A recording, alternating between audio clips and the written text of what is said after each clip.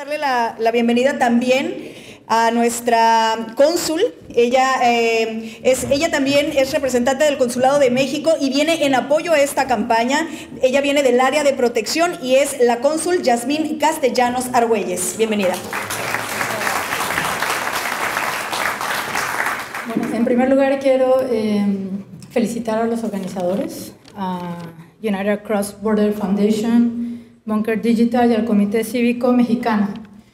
Definitivamente eh, tener eh, a todos ustedes aquí en un viernes por la tarde no es fácil. Me ha tocado organizar eventos y no es fácil. Las cifras sobre abuso sexual infantil, negligencia, suelen ser muy complicadas. Existen muchos estudios, muchas encuestas, muchos expertos que cuestionan la metodología y entonces no tenemos cifras muy exactas. Esto se complica más cuando se trata de las comunidades inmigrantes, principalmente de las comunidades indocumentadas, inmigrantes indocumentados.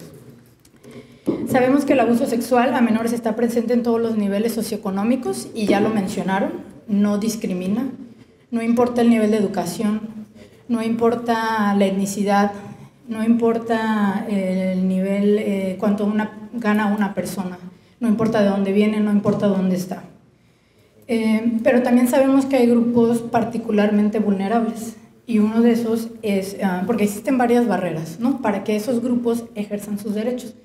Y de eso no podemos, eh, no podemos obviarlo, ¿no? El abuso sexual infantil no discrimina, pero hay grupos que tienen más barreras que otros. Y obviamente es la comunidad inmigrante latina. Ah, de acuerdo con el National Child Traumatic Stress Network, 29% de los menores latinos reportó haber sido abusados sexualmente, lo que indica que los menores inmigrantes latinos tienen una probabilidad cinco veces mayor de sufrir abuso sexual. En el condado de Orange, eh, todos sabemos aquí la comunidad inmigrante es muy grande, 31% de la población nació en el extranjero y de estos alrededor de 40% son latinos y otros tantos indocumentados, alrededor de 360 mil personas indocumentadas. Esa es una población vulnerable, esa es una población en la que todos los esfuerzos de nosotros se deben sumar para poner especial atención ahí. El atender a esa población requiere entonces de estrategias especiales, ¿no? de desarrollar programas y políticas especiales se han hablado de leyes, eh, se han hablado de esfuerzos de la policía. Tanto el sector público como el privado, algunos de ustedes están en el sector privado, como las organizaciones civiles, tienen que ser competentes culturalmente. Y eso es algo que nosotros vemos todo el tiempo.